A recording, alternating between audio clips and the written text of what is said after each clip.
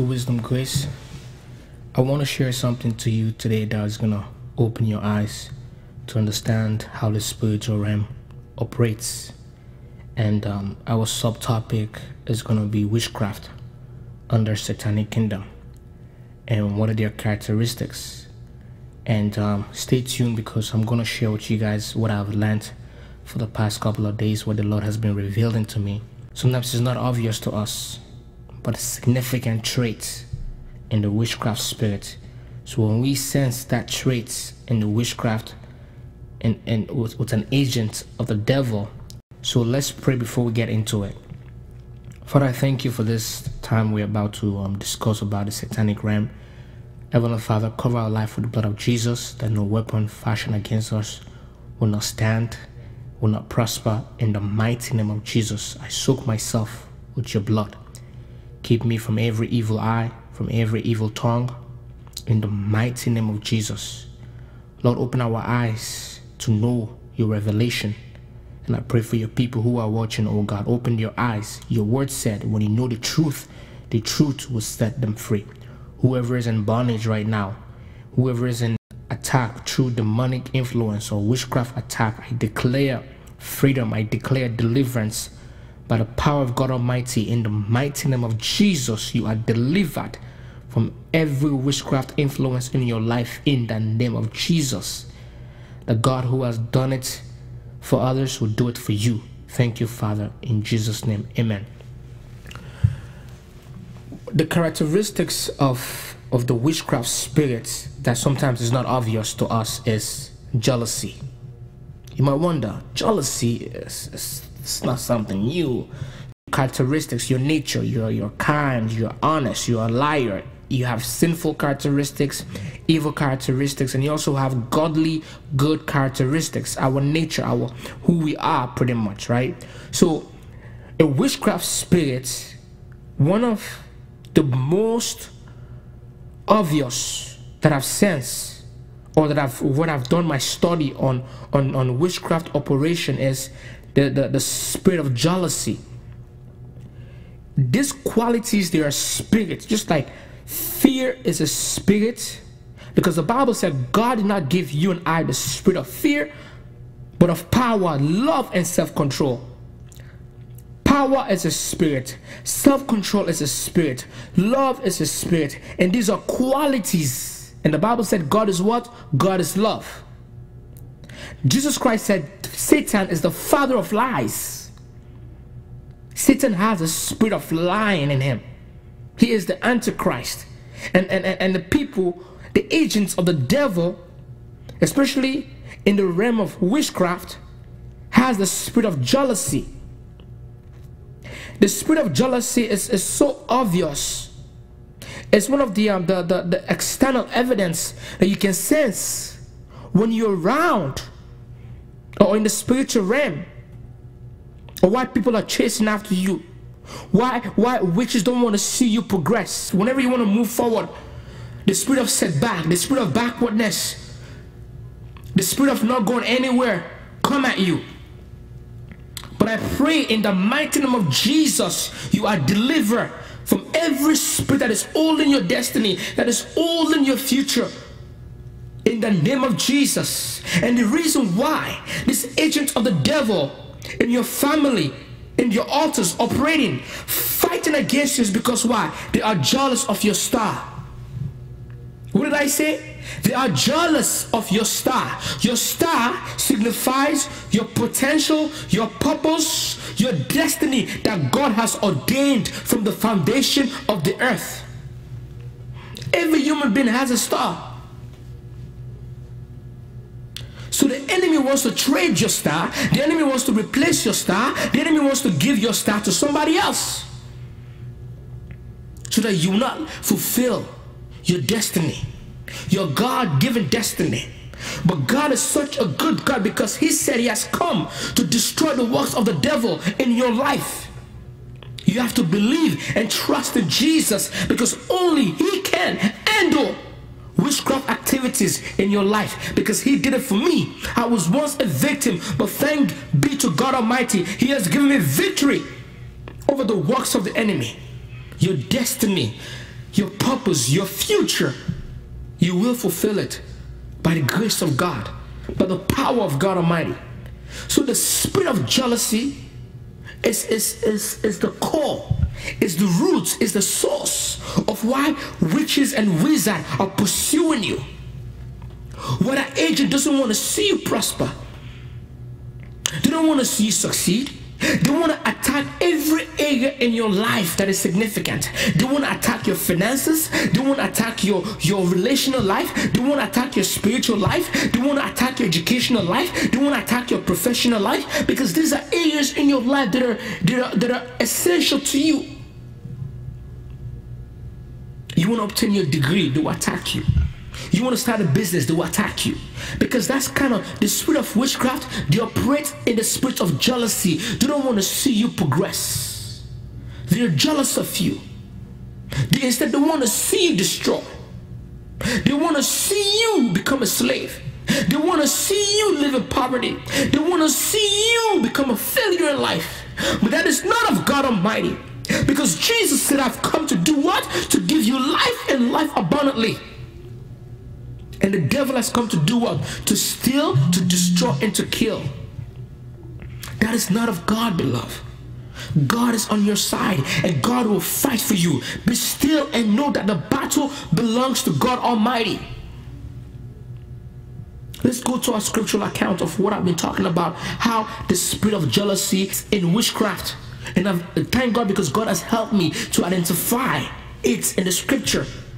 We're going to go to Jesus how the spirit of witchcraft operates in King Herod. Let's see what it says. I'm going to read from Matthew chapter 2, from verse 1. It says, Now, after Jesus was born, usually witchcraft, they will attack you when you're young. Your grandmother or your mother, I don't know what they did to you when you were young. I don't know what kind of covenant they made. I don't know what kind of vows they made for you on your behalf without without your, your input whatsoever, and it's still affecting you. Whatever decisions that they made in the altars, and whatever initiation to, to, to make you belong. But thank God because you are washed by the blood of Jesus. You have a new DNA. You belong in the bloodline of Jesus. Not in the bloodline of your mother, not in the bloodline of your father, but of Jesus. All these attacks happen. All these attacks happen when you are young. Because you're innocent, you're a child. What do you know? And people who are already in your family who are involved in witchcraft, they got you into it. But look what it says. Now, after Jesus was born in Bethlehem of Judea in the days of Herod, in this family of, of, of, the line of Jesus, there's no, I don't, I don't see any witchcraft because because Mary was a God-fearing woman. What's your name? Uh, uh, Joseph was a just man. But witchcraft was trying to come into the life, into the family, into the life of Jesus when he was young. From who? King Herod. But look what it says. In the days of Herod the king, behold, wise men from the east came to Jerusalem, saying, Where is he who has been born king of the Jews? The destiny of Jesus. He is the king of kings. He is the Lord of lords. That is his destiny. Initially, when it first came, it did not come as a king. But the second time when he's going to come, he's going to come as the conquering, reigning king of this entire universe, including the kingdom of darkness. That's who Jesus is. He is, he is going to glorify himself above every other principalities, and he has given us power. Glory be to Jesus for that. And look what it says, beloved. For we have seen his star in the east and have come to worship him. Jesus had a star, and that star was a star in the east.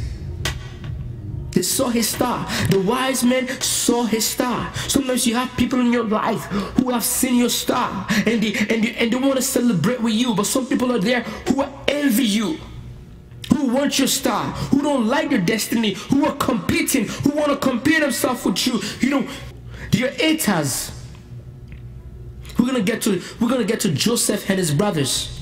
But I want us to focus on what they did to Jesus because you see, sometimes you think, oh, as a believer, oh, no witch, no wizard, they're not gonna come near me. No, they're gonna try you. Don't be deceived. They are gonna try you. They try me. And they have tried so many people that I know. They have destroyed people's destiny. But glory be to God, I want to let you know if you hold on to Jesus, He will fight your battle, He will deliver you, and you will fulfill your destiny. Don't settle. Don't settle because the spirit of witchcraft, they don't have no mercy. They don't have no mercy because they want to see you hurt. They want to see you destroyed. They don't have no mercy. If God did not show no mercy to the devil, why would you want to show mercy to people that want to destroy your life, especially people who are agents of the devil? So look what it says. When Herod, the king, heard this, wow, he was troubled let me, let me, let me, let me read verse 3 to you.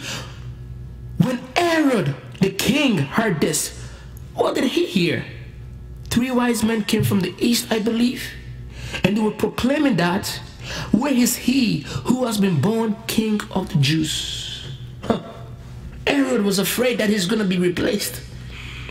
He was afraid that there's a new king of the Israelites.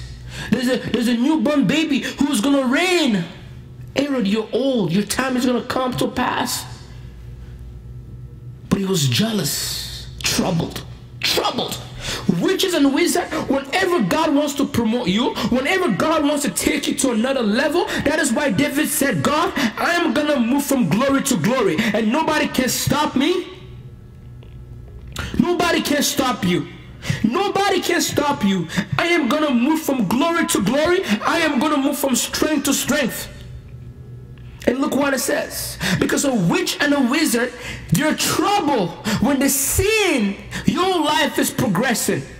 When they see God is blessing you, when they see the hand of God upon you, when they see that God is making progress in your life, they don't like that. They're troubled in your spirit. Whatever agents around you, you're troubled.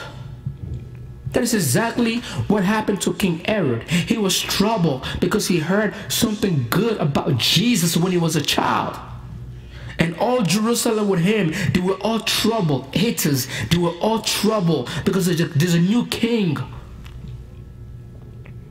So look what he did. He inquired. He was curious, monitoring spirit. That's what they are, monitoring spirit. They want to inquire about your destiny. They want to inquire, they gossip you. That's why you don't reveal your visions to nobody you don't trust. Don't reveal before God gives you a vision. Make sure that you, you pray to God. Not just anybody that you share your vision with, not anybody that you share your dream with. That is the mistake that Joseph did. He shared his vision to the wrong person. He shared a vision to people that don't like you. Don't share your vision to people that don't like you. Because first of all, they don't like you, they hate you. Wow. Herod inquired. He wanted to know more about Jesus. He wanted to know more about Jesus. Wow, monitoring spirit, that's what they do. They're the spirit assigned by the devil to go out there to monitor your life to monitor your education, to monitor your finances, to monitor your, your, your relationship, to monitor the promises of God in your life. Wow. So what did uh, King Herod did? Sent out monitoring spirit. He sent them out. Called the chief priest, the scribes of, of all the people. Even the people. He inquired of them where Christ was to be born. Wow. He didn't know. He didn't know. Because God did not reveal to him. God did not show the star of Jesus to King Herod. He didn't do that. Wow. May God help us. So they said to him in Bethlehem of Judea, for that it is written by the prophet. And then Herod, when he heard, when he had secretly called the wise men, secretly called the wise men witchcraft spirit, you're very deceptive. They are very deceptive. And, and they were determined what time the star will appear again. Oh my God. They're trying to kill the destiny of Jesus at an early age. That's exactly what they do, what they were trying to do in the life of Moses when he was a child. He has a greater style, he has a destiny. But look what it says. And he sent them to Bethlehem and said, Go and search carefully, oh my God, for the young child. Carefully for the young child.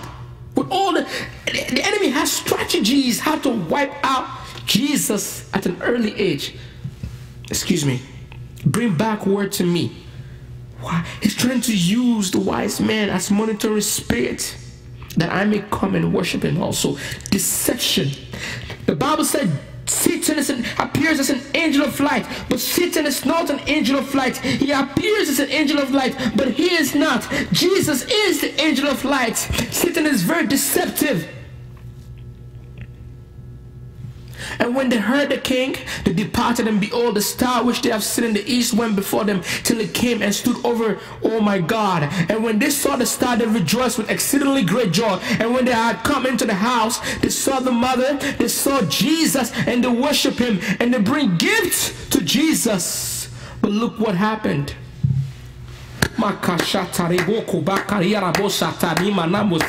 I say to you, God will fight your battle in your dreams. Because the, the witchcraft realm, they operate, they operate, they fight you in your dream. But glory be to God, because when you are sleeping, that is when they attack you. But glory be to God, God is a God who do not sleep. God don't serve a God who slumbers. I am here to tell you, as you are sleeping, enjoying your beauty sleep, my beloved, God Marida Bosa will frustrate your enemy, will frustrate every agent of the devil. But look what it says in verse 12. Then, being divinely warned in a dream that they should not return to Herod, they departed for their own country another way. God intervened. God, Marida Bosa, the I am that I am Barika, the Bible said, Greater is He in us. Even though the enemy is planning to take the life of Jesus at an early age, Marika Blabosa, nobody can stop what God can do in your life. There's a song that goes like this Nobody can stop what God can do in your life. Satan can't stop what God can do in your life. No witches or wizard can stop what God can do in your life. My destiny and my future are in the hands of God. Your destiny and your future are in the hands of God. Nobody can stop what God will do in your life, beloved. I want you to listen to me. Nobody can stop what God can do in your life. As long as God is on the throne and God has determined, predetermined that this is who you're going to be and you are going to fulfill it. You want to become a doctor? If that's what God ordained it, it shall come to pass. You want to become a man of God? If that's what God ordained it, it shall come to pass. A businesswoman, it shall come to pass. You want to get married? It will come to pass. You want to be established in life? It will come to pass. You want to obtain a degree? It will come to pass. You want to worship God? You want to you want to receive salvation? It will come to pass. It will come to pass. But look what it says now. When they had departed, behold, an angel of the Lord appeared to Joseph in a dream, saying, Arise, take the child and his mother, flee to Egypt, and stay there until I bring word, for Herod will seek the child to destroy him. Oh, Maria When witches and wizards, they have tried you. They have tried you. They have tried to frustrate your life. But now, they're trying to kill you. Beloved, they, they, they did the same thing to Jesus, but they did not succeed. They did not succeed, so they won't do it to you. Because Jesus is on your side. He paid the blood. He paid with his blood on the cross on your behalf. So no witch can kill your destiny. Satan will not steal your destiny. He will not destroy your destiny. Because Jesus Christ said he has come to do what? To steal, to kill, and to destroy. But glory to God. Now let's go to Joseph. But look what it says. Joseph, you know what? I'm going to share Joseph another time. So stay tuned for part two, okay? Thank you, Father Lord, for, for this magnificent time. Thank you for exposing the, the, the works of the devil. Continue to protect the life of your people, oh God Almighty. We believe in you, Lord Almighty, that, that no weapon fashioned against your people will prosper. God Almighty, our destiny, our future, our purpose in life is in your hand. It is your desire that every man will come to salvation. Those who don't know you, oh God, give them the opportunity, oh God, to know you. Because the only way you can have victory is through the blood of Jesus. It's through your faith in Jesus and accepting and receiving Jesus Christ as your personal Savior. And then you can have victory over demonic realm. Thank you, Jesus. In Jesus' name, amen. God bless you. God bless you. Please, uh, if you like this message, if you're being blessed, please subscribe to uh, uh, uh the YouTube channel Wisdom Grace and share this with your friends. This is the things that the Lord has put in my heart, and hopefully, i am gonna again come back and share part two of this uh, magnificent revelation from the Lord. Thank you. God bless you, beloved.